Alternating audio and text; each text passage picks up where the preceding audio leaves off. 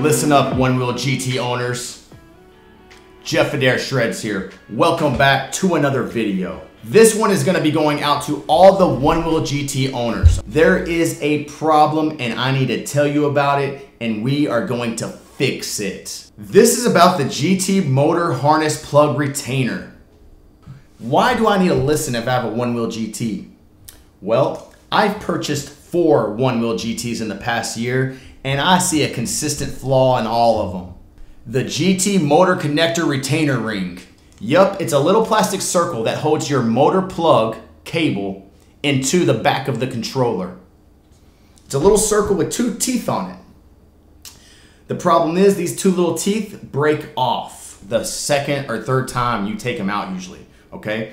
Some people have no problems, some people have issues. I've been one of those people with issues. So this will actually save your motor plug from coming out. And on top of that, if you have no teeth in that little ring, this will keep your motor plug in. So there's no need to, I mean, Future Motion knows it's a problem. They sell it on their website. That's why it's there because those little teeth break off that thing and you have to replace it. Well, look at here. Instead of replacing that so often, just get this and it's a one-time fix. Let's go.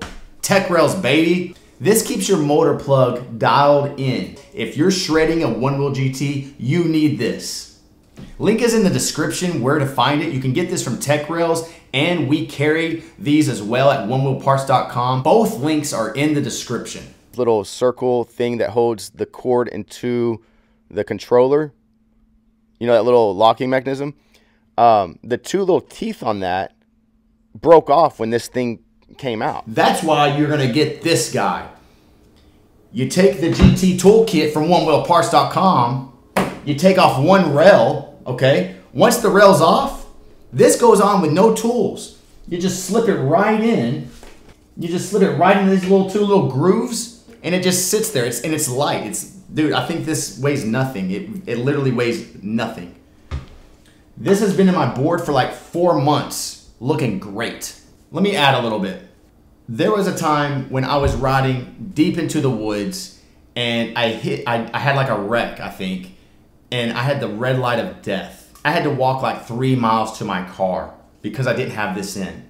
This happens to stock rails and aftermarket rails. This can keep your motor cable from coming out, breaking the plastic teeth, and this also can save your retainer if you don't have plastic teeth in it.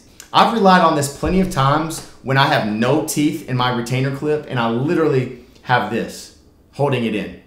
It's secure and dude, this is this should just come on the GT to be honest. But yeah, here's some footage of me putting it on. It's very simple.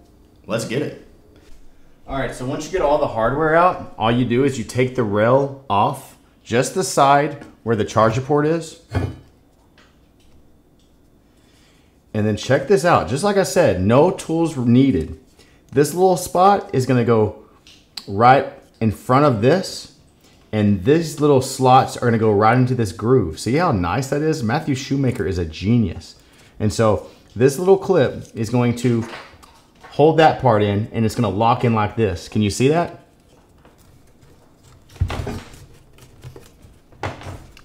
And voila that motor cable is locked.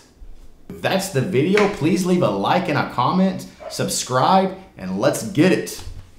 Hey, real quick, guys, I wanted to show you this really cool. Uh, Jeff sent this to me. He's like, to dad from little Jeff must read. Since I'm going to work tomorrow, he's like, yo, one wheel parts, two millimeter hex, black grip, purple sensor cover. He's got the, the one wheel drum. What a cool dude. He just made me a little card to uh, to request some new grip for his his board. You know.